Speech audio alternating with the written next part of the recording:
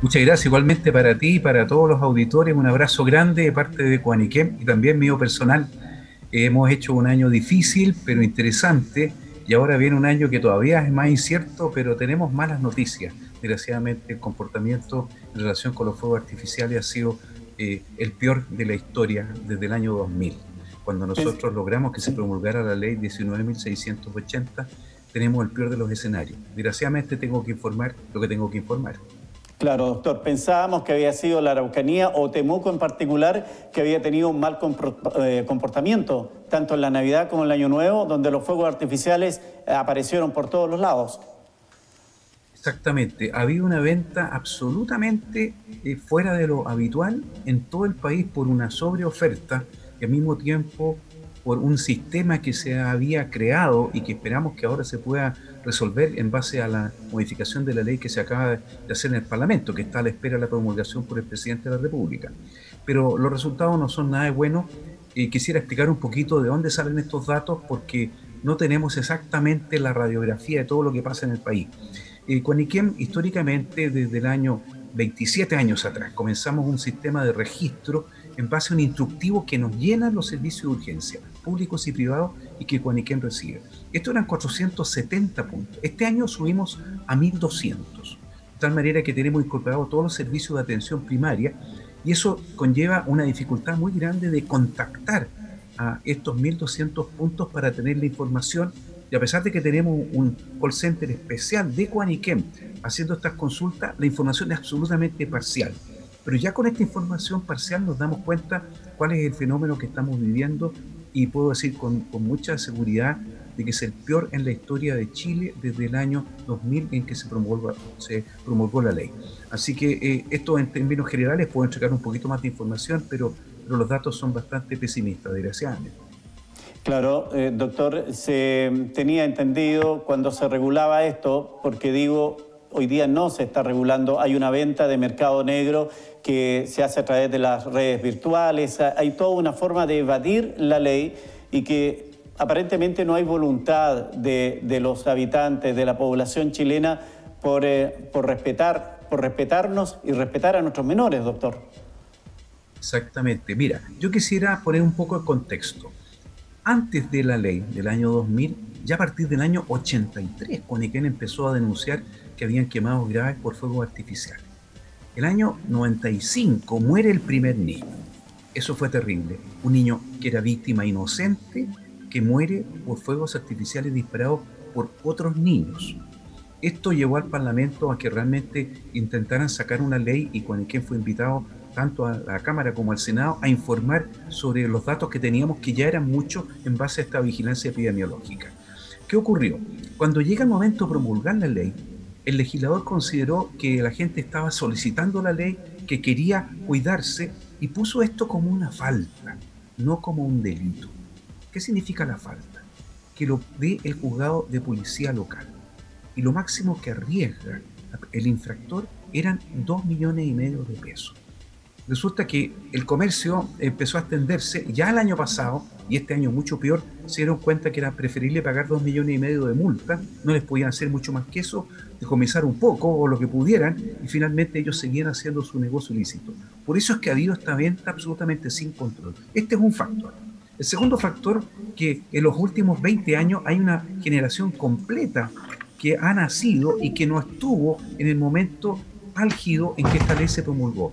Por tanto, hay también una dificultad en que personas de menores de 20 años o menores de 30 años, diríamos yo, eh, eh, no tenían conciencia de la gravedad de este fenómeno. Se han sumado estas dos cosas. Pero para ello hemos buscado dos soluciones que yo estoy realmente optimista, a pesar de los malos resultados. Quisiera decir un poquito de los malos resultados. En este momento ya tenemos 15 personas quemadas. El año pasado teníamos 18 al terminar todo el proceso. Recordemos que estamos en un recuento parcial y que nos quedan días muy difíciles. Hasta el 6 de enero es normalmente donde se producen este tipo de lesiones en años anteriores. Entonces nuestro registro va desde el 6 de diciembre al 6 de enero. Y en este momento nosotros tenemos que lamentar de que durante la noche del 31 y el primero hemos tenido la mayor cantidad de casos y todavía nos quedan muchos por ser reportados. Por ejemplo, no hemos recibido todavía reportes de toda la zona sur del país. Es decir, todos los casos que tenemos van desde Santiago hacia el norte. Lo que no significa que no hayan en Temuco, lo que significa que no hayan en Concepción, en Puerto Montt. Eh, es que no podemos tener en este instante toda la información. Pero así todo, más de la mitad de los que se han quemado eran víctimas inocentes. Más de la mitad. Es decir, estamos hablando de que uno dispara y otro se quema. Tenemos tres personas graves con trauma ocular con riesgo de perder la visión hospitalizados. Tres personas. Tenemos un niño de dos años de edad quemado. Otro de seis años de edad. Esto no puede ser, es una locura. Uno dispara, otro se quema. Por otra parte, tenemos de los 15 casos que están reportados en este instante, son 14 varones y una sola mujer. Lo que significa que no sé por qué ha habido mucho más frecuencia, siempre era así, pero no con tanta diferencia entre hombres y mujeres. Entonces, la primera parte es que estamos súper mal. Entonces, el mensaje es no comprar, no vender, no usar y denunciar al 133. Muchas personas me dicen, pero ¿qué sacan con denunciar si no los decomisan? Sí están decomisando. Pero yo le pregunto si hay 100.000 personas en Chile vendiendo fuegos artificiales. ¿Hay 100.000 carabineros que vayan a decomisar? Es imposible. Por tanto, era necesario un cambio en la ley. Y ese cambio se acaba de producir. Como recién decía, hubo una modificación, en este caso de la ley 17.798, que es la que regula las armas y los explosivos, en el cual ahora es delito. No está promulgado, de tal forma que en este momento los carabineros o la PDI no pueden ir, tomar preso, allanar a esa persona. Eh, pero van a poder hacerlo dentro de muy poco. Por eso yo veo con esperanza este futuro. O sea, sí ha habido una actitud de respuesta del Parlamento, sí ha habido una actitud del Ejecutivo lo más posible de ayudarnos en esta fase. Pero desgraciadamente estamos llegando un poquito tarde y en este momento las personas todavía no van a ir a cárcel. Pero, ¿cuál es la pena? Lo menos son 61 días de cárcel o una multa, pero eso será para casos muy menores. Ya no lo ve el juez de policía local, lo los tribunales de justicia normales. Y por tanto, tenemos aquí la posibilidad que la persona arriesgue cárcel. No solamente cárcel, sino que pueda arriesgar dos, tres, cinco años. Y si se suma a otros delitos, que a veces se relaciona los fuegos artificiales con otros ilícitos, puede llegar hasta la cadena perpetua. Aparte de ello, pierde el derecho a sufragar. O sea, estas personas no van a poder votar en ninguna de las elecciones que vienen ahora. Y si trabajan en la administración pública van a ser despedidos. Porque las personas que tienen este tipo de pena no pueden ejercer funciones en la administración pública. Estamos hablando de una sanción grande. Entonces, ¿qué tenemos? Tenemos una ley que se está reformando. Tenemos un comercio ilícito que se ha visto claramente que es una mafia. Lo digo con todas sus letras. Esta mafia ha invadido el país de fuegos artificiales y en este momento tenemos que defendernos con la sanción social. Pero hay otra buena noticia. Nosotros teníamos este pendiente con los jóvenes, con los que no supieron cuando esta ley se dictó. Y las personas que se han lesionado que tenemos registradas son todas menores de 30 años. De tal forma que estamos hablando de que la población joven, que es justamente la que no sabía de este riesgo. Bueno, hicimos un esfuerzo grande y nos unimos a tres grandes instituciones que tienen gran experiencia en trabajar con jóvenes. No sé si toda la gente sabe, pero el Cuerpo de Bomberos de Santiago, todos los cuerpos de bomberos de Chile tienen una clasificación especial para niños y jóvenes que se llaman cadetes o. Y ellos se sumaron a nuestra campaña. La Cruz Roja también, con más de 140 filiales a lo largo de Chile, tienen también una juventud que también se sumó a nuestra campaña. Y finalmente, el Rotary Club de Santiago y los clubes rotarios de todo el país, también de, Temuco, se están sumando a esta campaña porque ellos tienen a los interactianos, que son los escolares, y los rotaractianos, que son de la edad universitaria. ¿Qué hicimos con estos jóvenes? Les propusimos que hicieran una gran campaña como lo hacen ellos. Primero, conversando con ellos vimos que habían 10 razones, 10 razones por las que un joven no quiere que hayan fuegos artificiales. Primero las muertes y mutilaciones, de todas maneras, pero el daño a la mascota, el daño al medio ambiente, la quema de bosques. Se han quemado 70 bosques en Chile durante los últimos meses con fuegos artificiales. Esto es gravísimo, el daño medioambiental. Suma y sigue. Entonces, estas 10 razones, ellos decidieron hacer una competencia de memes y han empezado a difundir en las redes que ellos utilizan, que es TikTok, y también Reel, Instagram y otras, están difundiendo estos memes y esto ha sido explosivo. Los jóvenes están diciendo no queremos fuegos artificiales. Lo segundo, también decidieron hacer una especie de baile que hacen ellos en TikTok, en que tomaron el lenguaje de señas, dar en un minuto, es un challenge, un desafío, en un minuto dar las 10 razones por las que yo no quiero fuego artificial.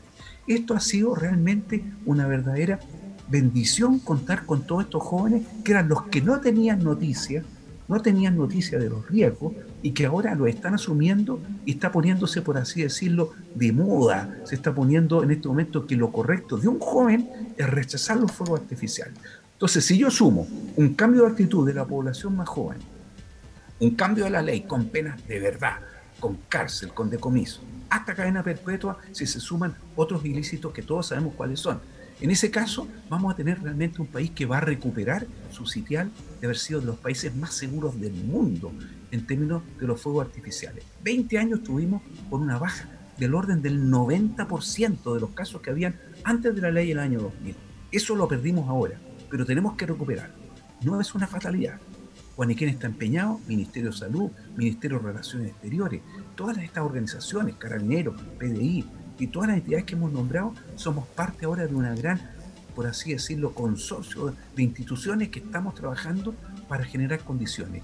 Y yo creo que Temuco se merece que realmente la gente, los jóvenes, sancionen socialmente a aquellas personas que ahora están usando los fuegos artificiales.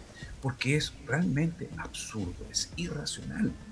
De todas las personas que se queman, se queman con distintos agentes causales tenemos que convivir con la estufa, con los líquidos calientes, con la electricidad, pero los fuegos artificiales no son parte de nuestra vida.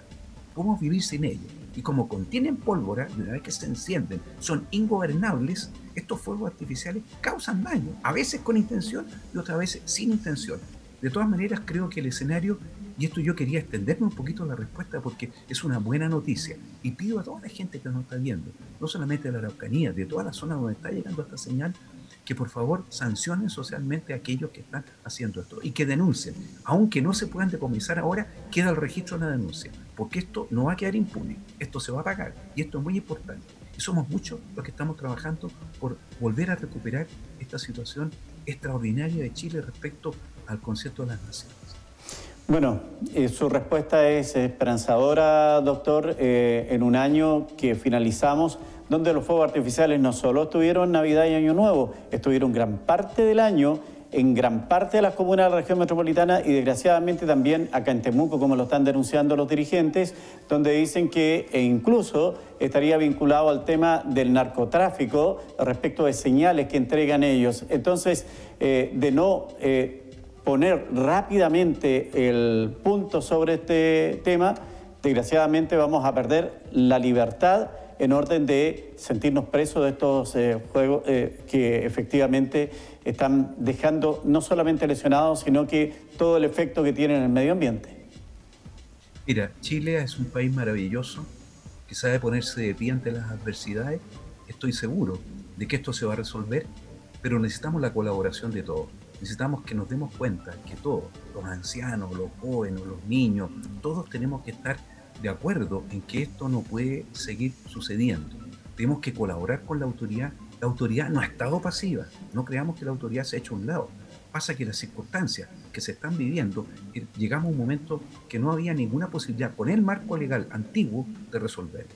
Ahora estoy seguro que el presidente de la República en la fecha más próxima posible va a promulgar esta modificación de la ley y vamos a tener las posibilidades de tener realmente la seguridad que todos nos merecemos y que todos queremos. Todos queremos vivir en paz. Y esto es muy importante en este tiempo cuando se empieza la etapa eh, estival en que viene el veraneo, la salida de la gente al exterior y todo, que podamos hacerlo con seguridad. Yo creo que esto va a ser una buena noticia, al final vamos a terminar bien, pero con la colaboración y el trabajo de todos. Yo quiero agradecer a los bomberos, quiero agradecer a la Cruz Roja, quiero agradecer a los rotarios de todo Chile, que están haciendo un esfuerzo enorme por ellos ser difusores de esto. Juan Iquén dice lo que tiene que decir, pero sin otros aliados tan importantes como ellos, que tienen voz en las Naciones Unidas. Estas tres instituciones tienen voz en la Organización de Estados Americanos. Y el propio Juan Iquén, junto con la Cancillería, presentamos un proyecto de resolución y se aprobó que se haga una ley modelo para todos nuestros sistemas, 34 países, basado en la experiencia de Chile. Pero ¿qué experiencia de Chile? Si no modificamos nuestra ley, estamos copiando una mala práctica.